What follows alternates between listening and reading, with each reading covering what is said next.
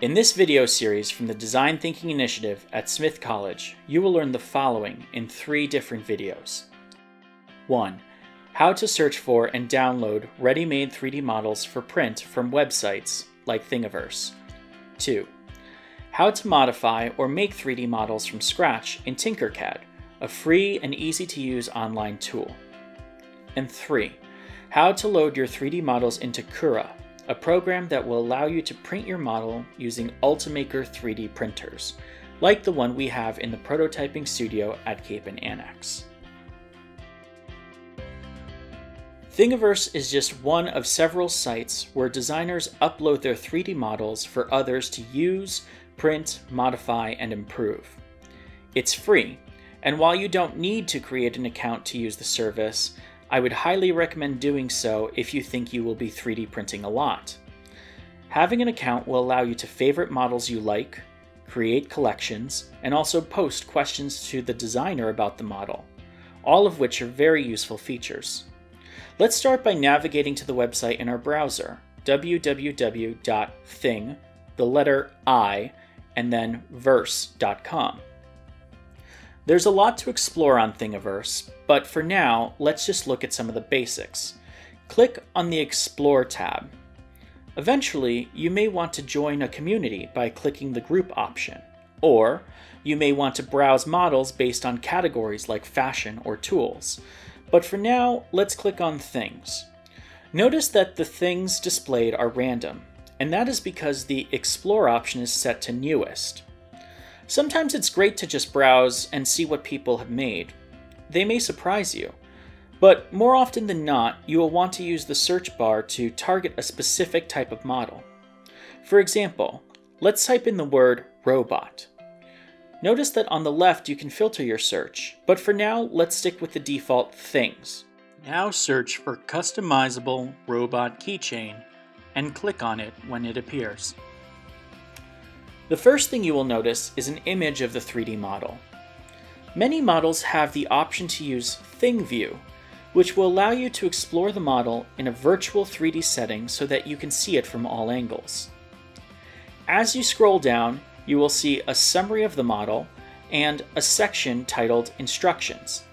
The depth of each section will depend on the designer and how much information they want to share, but there are often great tips and tricks in the instructions about how to print the model successfully. The easiest way to download the model is to click on the tab titled Thing Files. Depending on the model, you may see multiple options, and it's always best to refer back to the instructions so that you download the correct model. In general, you will want to look for files that have .stl or .obj at the end of their names. In this case, we can't see the end of the file name, but notice there is one key difference in the file. One has a thumbnail of the preview image, and one does not. We will want to download the file with the preview image. In addition, you can download all the files in the Thing Files tab by clicking Download All Files in the upper right corner. One special quality of this model, which is referred to both in the name and in the instructions, is that it's customizable. Models that are customizable will allow you to change certain qualities of the model before you download them to 3D print. We can do this by clicking on the Open in Customizer option on the right. Use the sliders to change things like the arm or leg length or angle of the model.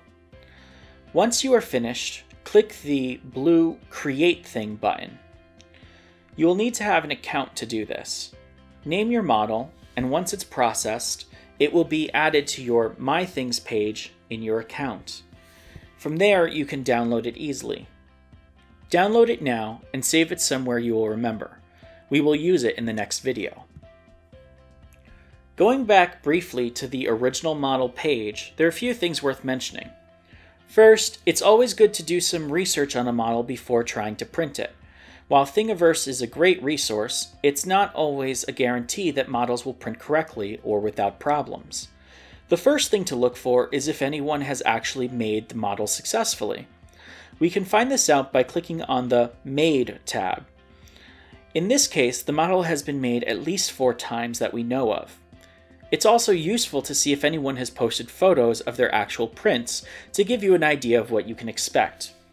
The comments section is also very helpful and often full of suggestions by the users that have successfully or unsuccessfully made a 3D print. Lastly, if you really like the model you have found on Thingiverse and you'd like to browse related models, you can see what collections it's been added to. A collection is like a Pinterest page of 3D models, or a page with a group of models organized based on a common quality or theme. Don't forget, if you have an account, you can favorite collections and individual models so they're easy to find later. Or you can try making your own collection.